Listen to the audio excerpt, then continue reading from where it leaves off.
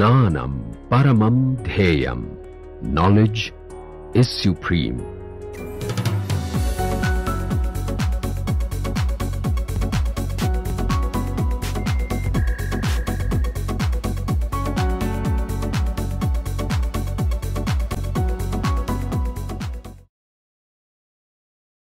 So, let us look at one example to completely uh, understand the process. So, we are given this matrix A. Okay.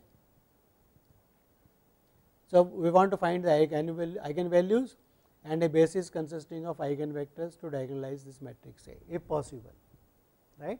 So, what is the first step find the eigenvalues. So, look at determinant of A minus lambda i. So, A minus so along the diagonal you will be subtracting lambda. So, here it will be 1 minus lambda 1 minus lambda minus 2 minus lambda everything else remains the same find determinant of that. So, just written the answer here it comes out minus lambda times lambda square minus 9 that means lambda is equal to 0 and lambda equal to plus 3 and minus 3. So, lucky here we have got 3 distinct eigenvalues right. So, obviously because there are 3 distinct eigenvalues and matrix is of order of 3 cross 3 and each eigenvalue is going to give you a eigenvector and eigenvectors corresponding to distinct eigenvalues are linearly independent.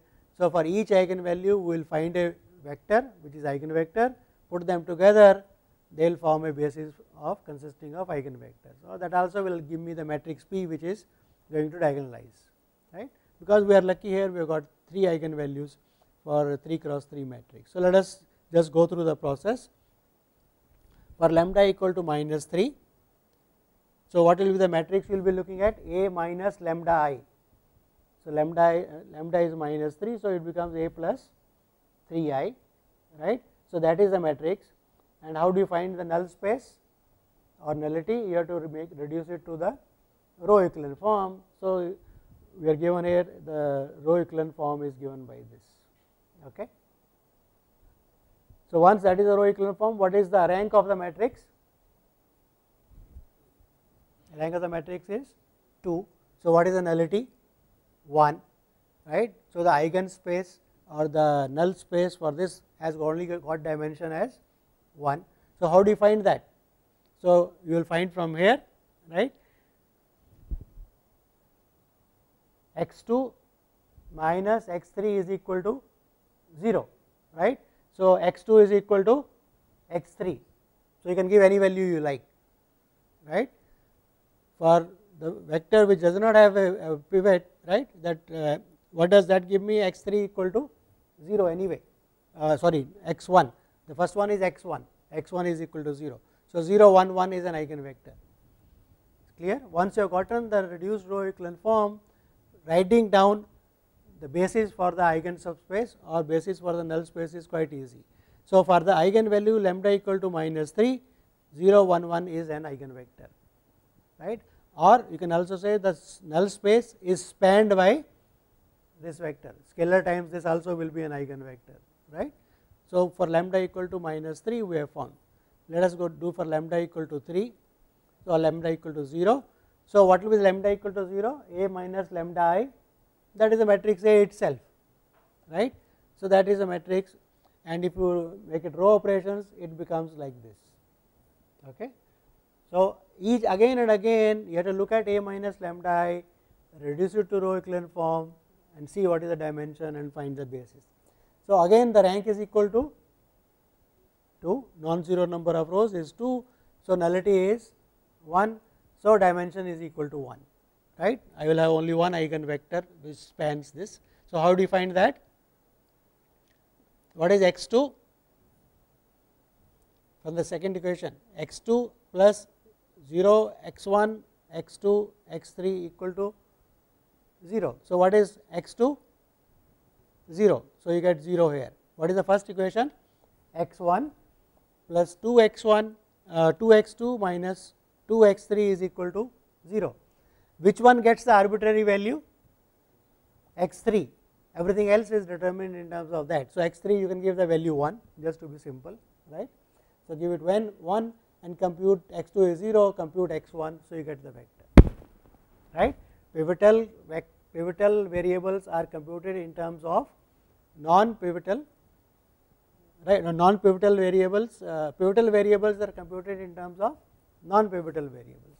So, arbitrary values are given to the non pivotal variables. So, here x 1 plus 0 x 2 right. So, got x 2 equal to 0 that is computed because there are right and the first one the non pivotal variable x 2 is already determined the non pivotal one is x 3 which can be given arbitrary value. So, that arbitrary value we have given it as 1 and found everything in terms of that. So, that is one eigenvector for the eigenvalue lambda equal to 0. So, let us do the same for lambda equal to 3. So, lambda equal to 3 a minus lambda i. So, that is a minus 3 i right. Again same process. So, if you uh, so this is already in that. So, if you do the row echelon form this comes out to be this. So, what is the rank again? Rank again is 2, nullity is again 1. You see we, got, we have got 3 distinct eigenvalues. So, rank of each null space is going to be 1 anyway, it cannot be more right because each vector is going to be there and they are going to be linearly independent. So, if you are getting something else then you are making a mistake in your computations. So, again so for here you get x 3 is equal to the second equation gives you x 3 equal to 0. So, that is equal to 0 in the first equation x 1 minus 2 minus x 2 plus x 3 is equal to 0 x 3 is given the arbitrary value. Uh, x 3 has been determined. X 2 is given the arbitrary value. So, x 2 x 3 are known. X 1 can be computed from that right because this says x 3 is equal to 0. So, x 3 is known and from the first equation x 3 is known x 2 is given as the arbitrary value that is a non pivotal uh, variable and x 1 is determined in terms of x 2 and x 3. So, that gives you 1 0 0 1 1 0 okay. So, once you have got the 3 eigenvectors right you can write them as the columns so, that is your matrix P or X whichever way you want to call it. Okay. So, the first eigenvector, second eigenvector and the third eigenvector okay. as the columns. Uh, I think there is a mistake here right. This V 3 this should be 0 here right. So, once that is done you check that x inverse A x is equal to this or simply A x is equal to Ax is equal to x times diagonal. If you do not want to compute x inverse, you can just verify that. Okay. So, it is clear how do you find given a matrix to see it is diagonalizable or not. First step find eigenvalues characteristic polynomial and see what are the roots. If all roots are distinct, you are lucky, you will find eigenvectors for each write down the columns uh, of the matrix as eigenvectors and you get a matrix P which is invertible which will diagonalize it. If not you have to see whether you are getting as many independent eigenvectors the nullity is same as the algebraic multiplicity of that eigenvalue. If that is the case again you are lucky and you are through right if not it is not diagonalizable right okay. So another example I want to do many examples so that it is very clear what we are doing. So, A is the matrix given like this 3 0 0 minus 2 4 2 and minus 2 1 5. So, how will you write the characteristic polynomial? Diagonal entries becomes 3 minus lambda, 4 minus lambda and 5 minus lambda everything else remains the same A minus lambda i right. So, write that find determinant of that matrix okay. So, you can expect you can expand by any row or column, but because there are zeros coming, so it is good to expand it by the first row itself. So, 3 minus lambda multiplied by this goes, this goes, this multiplied by this, so that minus 2 right and simplify it comes out to be this. So, that means what? If that is the characteristic polynomial factorized that means lambda equal to 3 is an eigenvalue and lambda equal to 6 is another eigenvalue.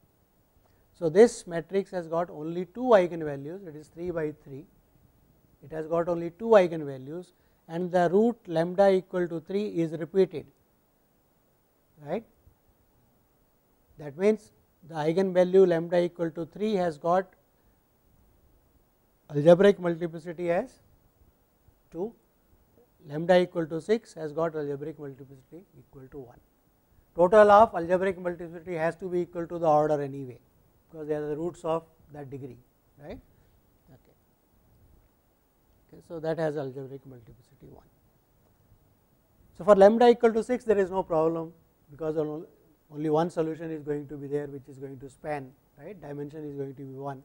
So, we can do that process we will have to see for lambda equal to 3 what happens what is the null space we have to find the geometric multiplicity of the eigenvalue lambda equal to 3 if it is 2 then we are lucky then we can diagonalize if not then it is not diagonalizable. So, let us check what happens.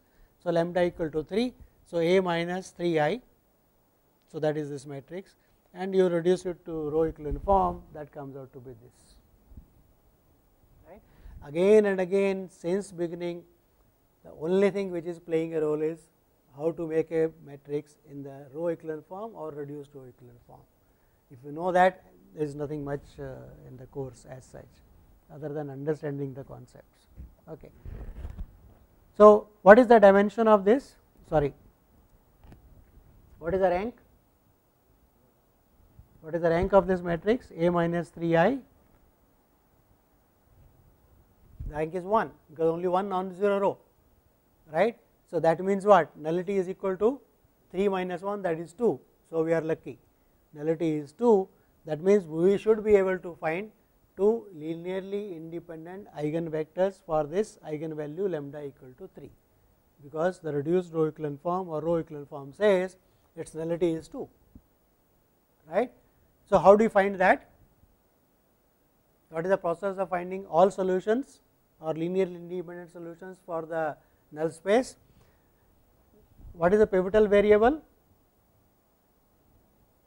1 x 1, x 2 and x 3 will get arbitrary values. So, the idea is you give x 2 and x 3 arbitrary values, so that they become independent right. So, one choice is give x 2 equal to 1, x 3 equal to 0, one choice and find x 1 and the other choice is give x 2 is 0 and x 3 equal to 1 and find out x 1 in terms of that. Those will automatically become linearly independent. So, that is what we do. So, rank is 1. Okay. So, what is the null space? You can give x 2 and x 3 arbitrary values right that is what we said x 2 and x 3 arbitrary values and find x 1 in terms of x 2 and x 3. So, that is how you write it consists of all vectors of this form where x 2 and x 3 are arbitrary right that is writing the null space and to find the basis. So, this gives you the dimension is equal to 2 and find the basis.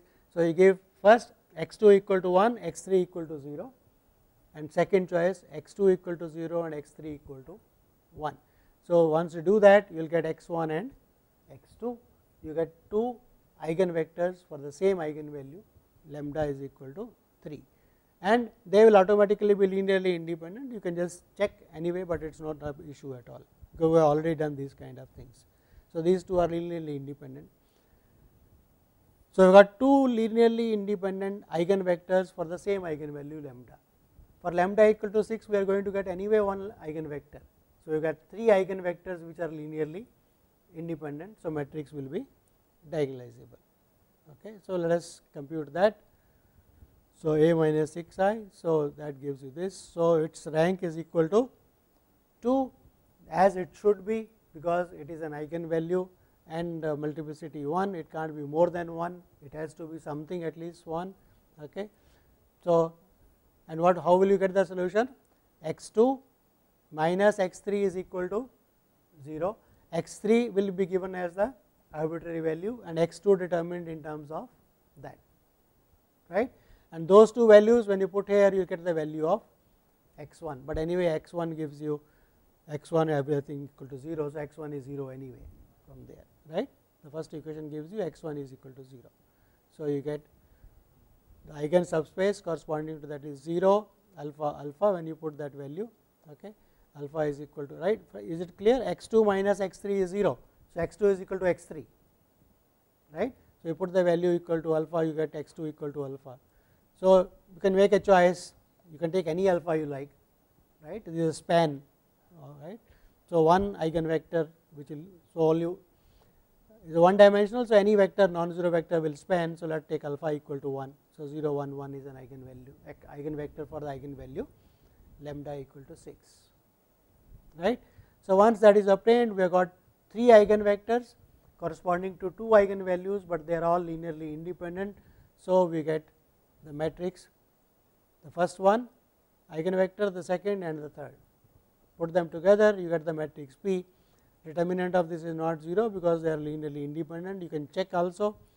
So it is invertible and P inverse A P should be equal to the diagonal. Uh, this is again a mistake here. That should be 3 3 and that should be 6 the third eigenvalue right. So, check so you can check whether computing P inverse you can compute P inverse A P and see it comes out diagonal or A multiplied by P is same as P multiplied by the diagonal matrix right 3 3 6. So, either way you should check. So, that is verification of that actually you are getting uh, a diagonal matrix. It's clear diagonalization process everything clear to everybody yes okay.